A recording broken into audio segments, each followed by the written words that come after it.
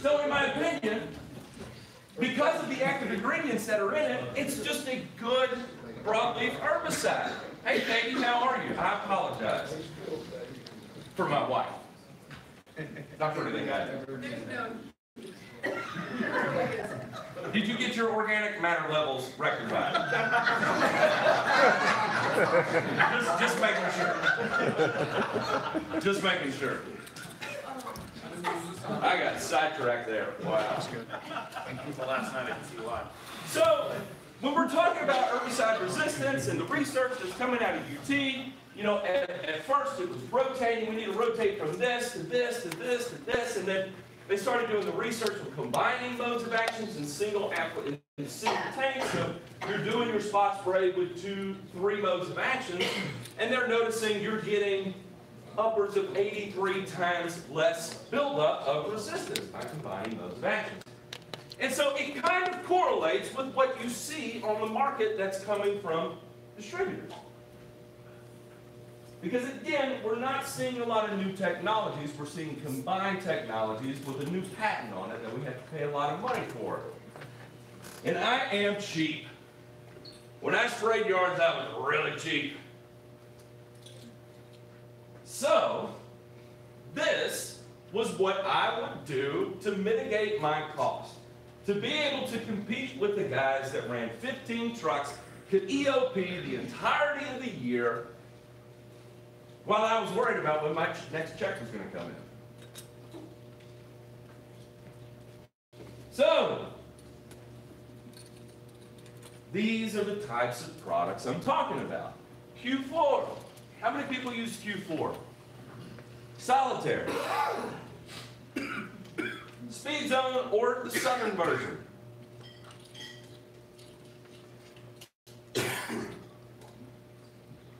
How many people use Last Call? I think Rod has some mystery Last Call still available somewhere in the United States. I heard. Does anybody sat at home? Is it? It's a great product. T-Zone, how many people use T-Zone? That's another one I love to pick on. I'm not picking on you, I'm just picking on the product. It's, it's, it's actually a good product. All of these products you see here are combination products. Multiple active ingredients that are combined to give greater overall efficacy, and typically that's how they work. I question some of the ways they're marketed, but for the most part, they're combined actives, they work good, they have synergistic effects, they broaden your spectrum of control, good products. But the problem is, is that a lot of these products are still on patent and they cost a lot of money. So, if we pay attention to the active ingredients in these products, Dismiss NXT, I talked a little bit about that yesterday. It is sulfentrazone and carfentrazone. Quicksilver and Dismiss. Sulfentrazone 4L and Quicksilver. Q4. 2,4-D, quinclorac, dicamba, and sulfentrazone. That's a typo.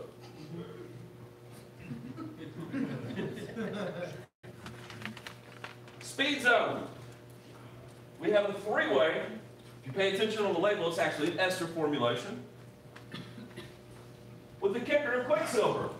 4-Speed XT, probably my favorite product on the market for broadleaf weed control. I used it on Bermuda grass and it will ding it a little bit. But you know me, I'm a big fan of the burn and return, so I did it anyway. but you have this little kicker right here, pyraflufen ethyl, also known as octane.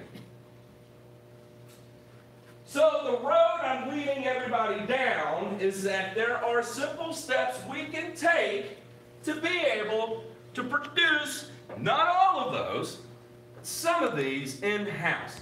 For those of you that are concerned with scaling, I cannot tell you how to replicate this to scale in your business. That is something you would have to look at, identify where you stand, and make that decision internally. What we are going to do is we are going to identify the active ingredients in the label. We're going to look at the concentration, the amount of active ingredient per gallon. And we're going to look at the use rate on the label. We're going to search. We're going to find comparable products with comparable active ingredients. Pay attention to that amount per gallon and use rate. We're going to ratio what's in your name brand to what you find as your comparable product. That's the math part, I'm sorry. Then we're going to formulate like mad chemists. But there's going to be a disclaimer right here. The label is the law. If you violate your label, that is your ass. Pay attention to that. I said we cannot replicate total yesterday for a couple reasons. We can't find single source iodosulfuron. We can't find single source thiencarbazone. And the rate of halosulfuron on the label is over label rate. So we can't take Sedgehammer and add it because what's in tribute total is a higher rate than what we can safely apply as Sedgehammer according to the, the Sedgehammer label or process. I am sorry, Rod. I don't know why I keep doing that. Come on, man. Always jar test, and I'm not, and I will tell you right now, we are not mixing concentrates in a jug. Don't ever do that. If you do do that, don't tell anybody. Act like it never happened. If you start mixing concentrates, the potential for gases or gelatinous materials to form in the, in the can is really high. How many people in here have ever mixed ammonia and bleach? It can kill you. Clean your back. There is that inherent risk when you're talking about mixing herbicides. That's why we do not play with concentrates together. Do not mix ammonia and bleach. That's also part of this disclaimer. What I'm telling you today, I may make a mistake. There may be a mistake in this PowerPoint. You cannot sue me. By sitting in this class, you are accepting I might make a mistake. My lawyer told me to put that in there. Do you have a slide of it? Slide what? That's right up here. You want to come sign it? No. Sign, yes, sign the TV. It transmits right Yeah, there. great thing, right in there, sucks it right in. All right, so again, Q4, my least favorite herbicide on the market. We're going to identify the active ingredients. Here we see quinclorac, sulfentrazone, 2,4-D. We're going to identify the amount per gallon. We have 0.75 pounds of our quinclorac. We have 0.06 pounds of sulfentrazone. We have 0.88 pounds of 2,4-D, dimethylamine salt, 2,4-D amine. And we have 0.1 pounds of dicamba. We're going to look at our use rates. For simple math, we're going to use 8 pints to the acre, 1 gallon to the acre.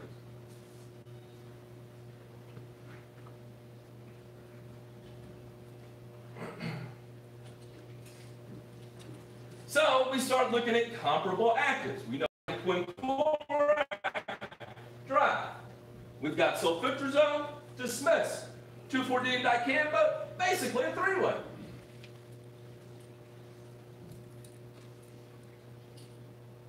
Now, we look at the label of dry. We know in one gallon of dry, we have one and a half pounds of quinclorac. We know our use rate is 64 fluid ounces to the acre. We know that gives us effectively half of this because this is a half gallon, so therefore this AI is half.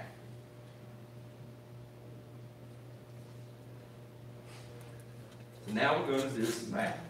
Yeah. So just like I said, we know our rate, eight pints of Q4, that's one gallon of Q4. That's one acre of Q4. That's 0.75 pounds of quinclorac.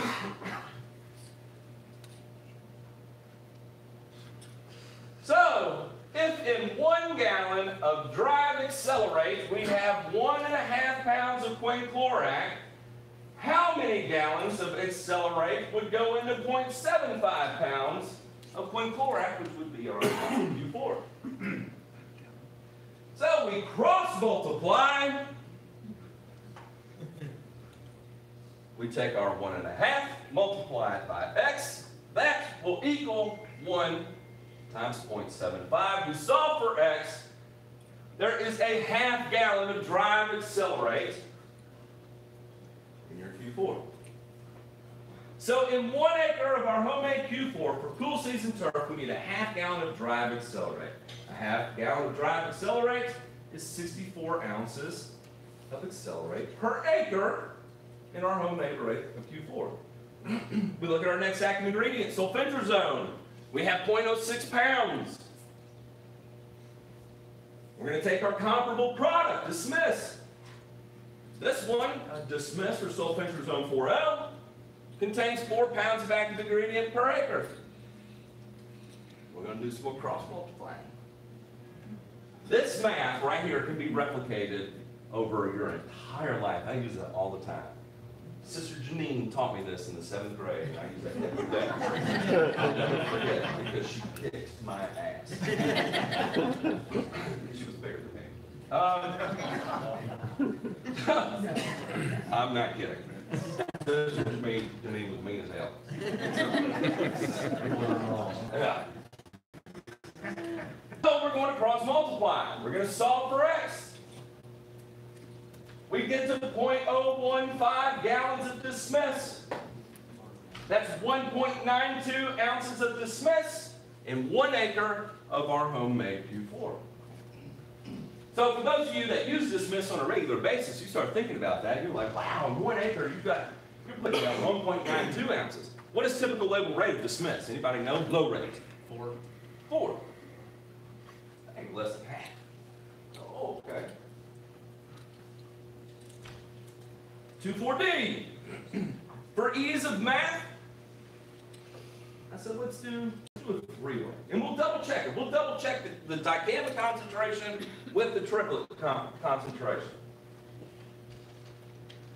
We know in one gallon of triplet, we have 2.38 pounds of 2,4-D. How many gallons of triplet would it take to get to our 0.88 pounds? We're going to solve for x. We know it will take 0.36 gallons of triplet or 46 ounces to make up our one acre of homemade Q4. Where are we mixing this, by the way? In the tank, not in your jug. In water. This goes into water. We'll clarify that. You're doing this in your backpack with water already in it. I do not want you inhaling these fumes if you mix concentrates. So we're going to double check what that looks like with the dicamba too, right? So we can we can get single source dicamba. Vanquish, I believe, has a turf label still. Do you know, Ron? Am I making things up? I don't know if it's labeled for turf or ornamental use. I know Banvel was not. Yeah, I'm not sure. I don't. I'm not sure either. But we're going to check what the dicamba looks like. So it would be the same thing. One gallon triplet, we have 0.22 pounds of dicamba. We're taking that right off the label, exactly where it says. We're going to cross multiply it out. That would be 0.45 gallons of triplet. We're slightly lower on, on dicamba in our homemade Q4 than what Q4 actually has in it. But being slightly under is better than being slightly over.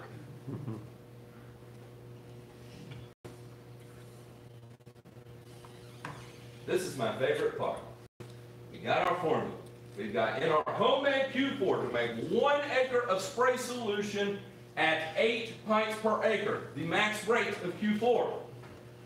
There's a half gallon of drive that goes into it, a little less than half rate dismiss that goes into it, and 46 ounces of triplet.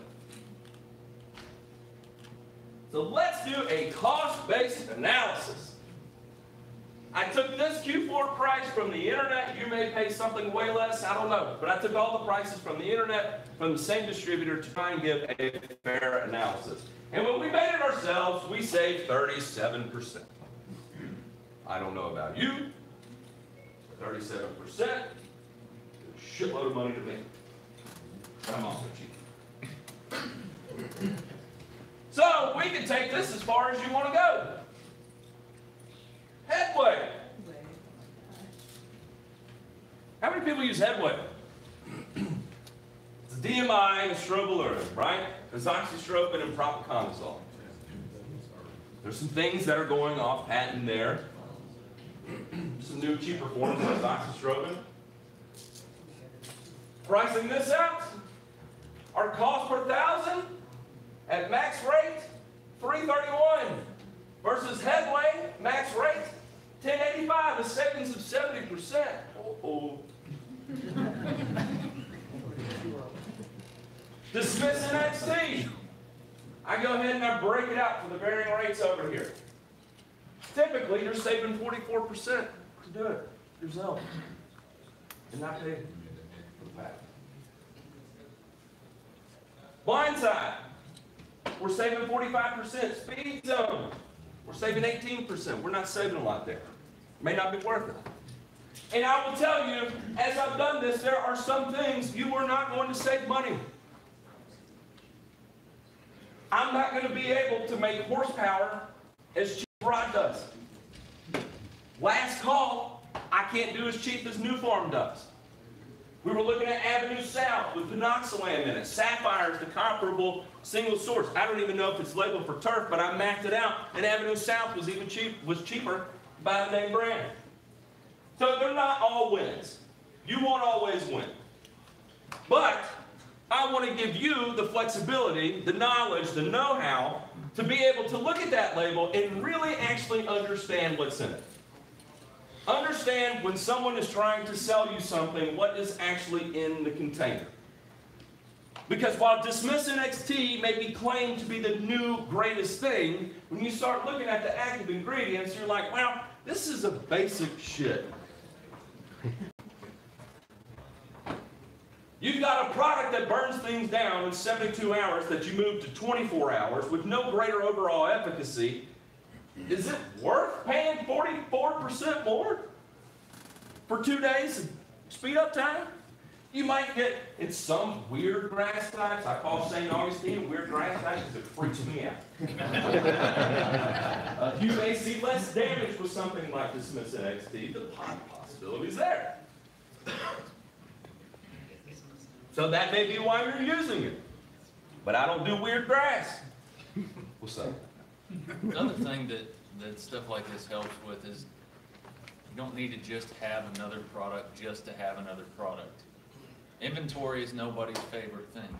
You've already got most of the products on your shelves in a single form, but you're paying additionally for the combination product when you already have all four ingredients, and you got five bottles, and they all do the same thing. Correct. 100%. And to add to that, what I can't stand is I go, so when I was a small guy and I first started out, and I'll never forget, I went into Site One, or I may have been talking to a, a Helena rep, and again, I'm committing career suicide. it is what it is. And I asked for Quinclorac to go spray some crabgrass. Then they came out with a jug of Q4. This is why I'm so bitter about Q4. They came out with Q4 and they said, this works on crabgrass. And I said, F you, I asked for Quinclorac. I don't have it, but I do have this. I said, bullshit. I want Quinclorac. I don't have it. I got this. This is what we sell. This is what I'm offering you. And I was so mad that they wanted me to pay that inflated price for that product, but the only thing I wanted to do was go after crabgrass. I don't need Q4. I don't need 2,4-D. I don't need sulfentrazone to spray crabgrass. If I needed to, to kill it faster, yeah, I could add my own sulfentrazone to it. If I needed to give a quick response to make whoever at the home a little happier to know that I've been there and sprayed something 72 hours later, yeah, I can add it in there. But at the time, I didn't need that. I just needed the active ingredient to solve the problem I was trying to solve. I don't need all of those. Uh, why do I need 2,4-D and quinclorac combined to spray crabgrass? What effect does 2,4-D have on crabgrass? Mushroom. Why am I spraying? I want control over everything that goes on my lawn. There is a responsibility we face as applicators to make sure when we are targeting weeds, one, we actually kill them when we spray them, and two, we kill them because we chose the correct active ingredient to kill that weed. I can go kill crabgrass with 2,4-D. Is it safe? Hell no, because I'm spraying concentrate on the yard and I'm killing everything. It's doable, but it's not the right thing to do. So why spray something like Q4 if I'm using it to kill a weed that it's not designed to kill? It makes no sense.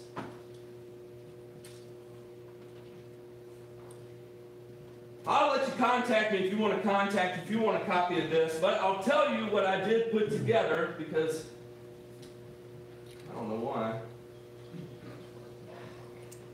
I put together a rolling database of different products and different active ingredients, different cost breakouts of things you can do at home. You email me, ask me for the roll your own database, the roll your own cheat sheet, and it will give you sample rates of different materials that go in here. A lot of them I showed up there. I doubt there's hardly anything new that was on there that is not on here. T-zone, surge, surge. How many people use surge? Yes.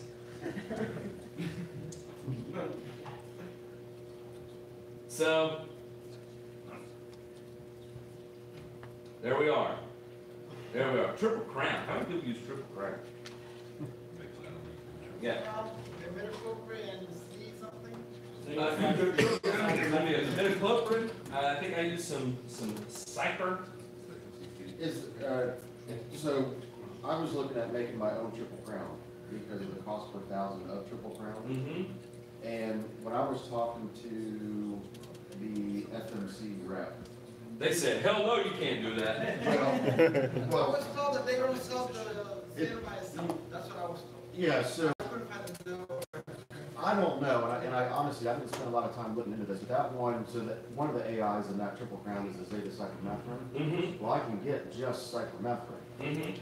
I don't know that there's a big difference between the zeta cypermethrin and just cypermethrin. So I mean, it's like gonna work That's how they make it. the same. Right. Yeah, you can mix, you Yeah. can mix them up, you've got oil based and water based, but mix them separate in the tank, and they don't run, you don't have any resistance. And you literally pay half the price. Yeah, sixty-one percent difference in Yeah. price. That's why, that's why I haven't bought it. No, you cannot do Defender. Cannot do Defender. I can't remember off the top of my head what the active ingredient is, but it's single source, so you can't do that. There are some products that are single source. It'll have a single AI, or you can't find another product that has that single AI. And it's just something you have to play with to understand. You know, I was, I told Rod, I said, I'm gonna pick on him, and I'm gonna go through his product list. The problem was I did, and that sometimes I would save four percent, and sometimes I'm paying four percent more to do it myself, so kudos to Nufarm. Yeah, So far it's super expensive, right? So what I, it's, it works super fast. I wrote it with medical and open back, Mhm. or seven. Is, is that a, do, do they play well? I mean, I- Imidacloprid and Bifenum, And, and, no, and, and Safari, Dino Fury. Diamond, diamond different. Yeah, Uh-huh. and because I get the quick uptake, but then I get the. um, what- The after from the imidacloprid? Yeah, and a lot cheaper. Yeah. We, we mix that for chinch bugs, I do that for but we would add, we would do imidacloprid and bifenthrin together, and we'd save a ton of money, but we would also add a UV inhibitor for the imidacloprid. Um, and that's worked really well for us for, for chinch bugs. That's a great idea. Yeah. That's a really good idea. I've never heard anybody doing that. That's What's the, brilliant. the regulator? What's that? Which one's that, the, the third one you said? It's, it's basically an, an adjuvant that's got a UV inhibitor in it. So anytime we run a metacloprid, we'll add a UV inhibitor in there because it's Florida. You know, well, it doesn't matter really, it's sunny everywhere, but, you know, it breaks down the metacloprid, metacloprid so quick that that UV inhibitor slows it way down. Gives us better, We got Lord, son, Florida. Hang on a second. Weird ass grass and everybody's smoking down here. All right, does anybody have any questions? Now we'll get off from up here. What's up, Aaron? Hey! So I know you were saying not to mix the chemicals together, so I run, I have a broadleaf slurry that I mix. Uh-huh. Um, And I do mix it all together, but it's, you know, I'll do uh, MSM, two four D, um, and then octane, and then I'll put a surfactant in, you mix it a certain way, it's perfectly fine. So if I wanted to mix like a Dismiss NXT, can I add, you know, basically not have it as, and I know legally, you know, you can just throw up your hand sign. So if I put, I, I make the, the mix easy, so I'll put water in it to where the guys put in two ounces per gallon, just easy mixing. So could I, in theory, probably shouldn't do it, but could I make like a dismiss NXT the same way and make it easier to mix for the guys if I'm adding water as an in? Okay, fair enough. Uh, I will say what we used to do, and, uh, this is another, uh, but we did the same thing with Monument and, uh, Freeway.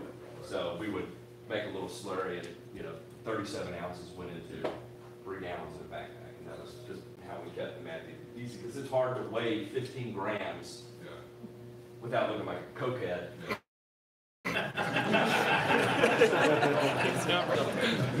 Some, what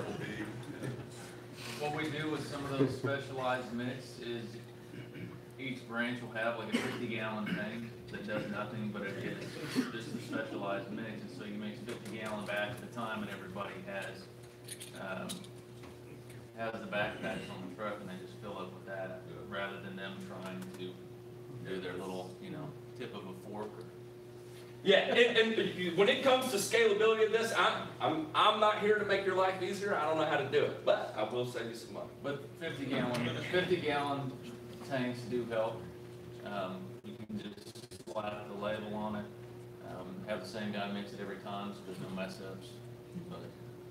Because you can see where this could be a mess up really quick, right? Yeah, It's not for everybody. It's really not. And so, uh, one example is just, you know, some, some of the dry products come with their own measuring cup and things like that. Yes, If you're a guy that's mixing the tank, thinks that dry and liquid are the same ounces, yes. that will be messed up quick. It will. Yes. Or even MSM, that's different, depending on the size of the granules, you can have one that'll have, you know, you'll basically pour like an extra third of an ounce. Oh. If you use the wrong measuring cup. How many people use methylphenone here? Okay, as a general rule of thumb, I kind of, I kind of talk about this. A half ounce to the acre kills weeds, one ounce to the acre kills trees, two ounces to the acre F's shit up. That's what they spray down railroads to kill brush and vines. Usually they'll combine it with something like Mojave or something as a, a BGA. What's that? One guy said, uh, it, it doesn't happen because, they told me it doesn't happen. And they said, I sprayed around oak trees and it didn't happen. And I, I said, I sprayed and I seen it happen. Cause I went two, three weeks after the application and you see all these diebacks on this oh. And then I knew what it was, but then when I realized the guy that told me it wasn't happening, he was hitting a tree that was sixty by sixty on a finger island. And I said, yeah, it's not enough on a finger island, you were probably a hundred square feet of grass compared when they in the open park when their roots are actually in twenty thousand feet of grass. And I said, that's the amount of in so you can't use it maybe on finger islands and it's not gonna do anything to the tree, because it's not enough. But when you use it in open areas, those trees, roots are spreading two, three times the size of the crown of the tree. So now you're putting a lot more uh, ingredient under that tree. That's when I see it when it happens. I became the applicator that I became because I made a series of really shitty mistakes, huge mistakes. When I lived in Georgia, we were doing everything we could to grow as quickly as possible, and we were trying to simplify our centipede program and got the bright idea. I had the worst wild hair in my ass, and I would fully take responsibility and ownership of this not being super familiar with the chemistry of metsulfuron, I said, I'm gonna spray centipede with it. No big deal, label for it, right? Except I chose the rate of one ounce to the acre. Mm-hmm. That's high. And I'm gonna spray it in transition, directly violating what the label says. So I go out, I light up a day's worth of yards. They were the worst yards, they were new sales, I needed a big cleanup. I didn't want to spend the money on Celsius at the time. Three weeks later, everything's turned green. I start getting calls from that route. And my grasses have turning green. I'm like, oh boy. I said, yeah, my tree doesn't have any leaves on it. I can't help you there. I don't know what's going on. So we get the inspector out to take a look at it and see what's going on, and he's like, "Man, what'd you apply?" I'm like, "Ah, man, my records right here. And he was like, oh, boy. And thirteen thousand dollars later, and we had to cut down two trees and resod three yards. I can tell you another horror story, playing with triclopyr in, in an ester-based formulation. I was doing brush control. And I tell you this just to tell you the brevity and the, the seriousness and the realness of what we do. Uh, making application, I, I was looking at my temperature. We were going to be getting up to about 80 degrees that day. I was going to start early in the morning. They were calling for rain later that afternoon. Not really high temperature. I said, all right, this is good. We had like a three to five mile an hour wind. Everything was great. So I go out, I make my application, everything's good. I didn't pay attention to the weather the rest of the day, right? Well, the wind slowed down really, really, really low. We got up to 85. Humidity kind of bounced like this. We had really high winds come through in the afternoon, late in the afternoon, and we only got just a sprinkling of rain that was originally called for. About four weeks later, that homeowner that I sprayed for sends me a conversation between himself and his neighbor behind him. And his neighbor behind him, this is from me a rod or how far these, these houses are apart. And I start going through this email, and she is documenting it like a college professor is documenting a case study with photos of daily time lapse, lapse differences in the way her red buds were defoliating on her property and how it gradually got better as you went around the side of her house to her front yard. And she was documenting the effects of temperature inversion of using an ester-based herbicide movement. And I look at the name, and the name at the bottom is Sue Hamilton, Dr. Sue Hamilton, who is the head of horticulture at the University of Tennessee and a former professor of mine.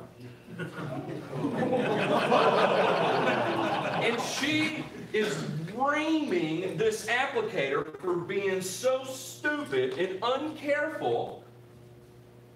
And I had a really hard pill to swallow to go knock on her door, and she say, Yes? I'm like, I don't know if you remember me, or not what you're doing. Me, who are you, why are you at my door? And your kid is screaming in your car, by the way. I'm like, yeah, I know, yeah. Like, what? what? I was like, that case study you sent out with dude, man, that was me. I made that application. I fucked up. And she was like, oh, really? I was like, yes, yes, I'm sorry, I don't know. I just, I fucked up. It's just like, come on, honey, let's go look at it. So we go back there, and I'm in this backyard. Smoke, everything was defoliated back there that was you know, tree-like. And uh, so we walk around, and she's like, this red bud was imported from so-and-so, and so-and-so, so-and-so. And I got this one when I made this trip country, and it bred particularly by this one specific breeder. And then I got this one here to commemorate my father when he passed away. And I got this one over here, and I mean, I'm just like, I can't die fast enough. and we get to the end of it, and, and you know, she, she tells me to calm down, you don't panic yet. Uh, and says, this is what we're gonna do, we're gonna wait, we're gonna see if things leak back out, they may be okay. And I wanted to tell her that, but I knew she didn't want to hear it. She told me that, so I did, I calmed down, and we stayed in touch, and the trees refoliated and they survived. So I got extremely lucky I didn't lose my license. I got extremely lucky I didn't lose my license in Augusta killing oak trees. There is very real seriousness to what we do, and we can ruin things really quickly. And we, as applicators, have to be stewards of the environment. It is our responsibility. There is no joke about taking an herbicide that can kill a human and everything that could possibly grow on the ground and carry it around on our truck like it's no big deal. It's no big deal to us. We're desensitized to it. You think about diquat. How many people use diquat? Diquat is fucking deadly. Works. If anybody's heard of paraquat, it's one of the leading ways of suicide in third world countries. They drink it to kill themselves. It is bad news. It takes a very tiny amount. And this shit, we don't even bother us. How many times we get lazy and like, damn it, I left my glove in the cab. I've done it. So there's a very real seriousness. Take this serious. Yes, you may be saving money, but yes, this is risky. Understand your risk. You have to make that decision whether or not it's worth taking this risk. I can't make business decisions for you. You have to. And that's it. Who's next? Ron! If you're gonna make your own Q4, double the radius of fentrazone so you actually kill. Yes! Yes! Please. And